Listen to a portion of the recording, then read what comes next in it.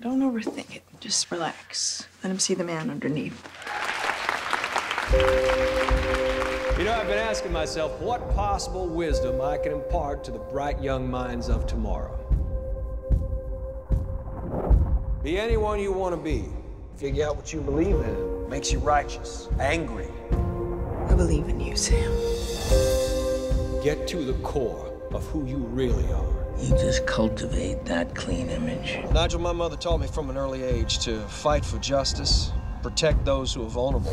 This is what we're selling confidence, hope, optimism. Your mythology is your best asset. Be honest about your weaknesses.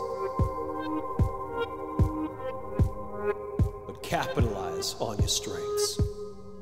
Because really, you can only be you. Be you.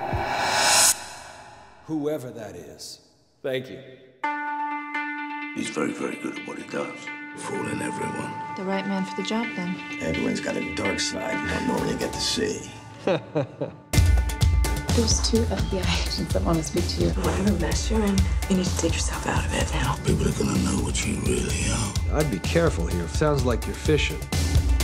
You'll write the story. This is about you protecting your ticket to the top. Sam, about your zipper problem. People want to believe that you're somehow better than they are. This is a black and white issue. They need that fairy tale. I set out to help people and never said I was better than them. Everybody's just waiting for you to win this. Sam. Do whatever you need to do to make it happen. This is the perfect time to get used to surprises.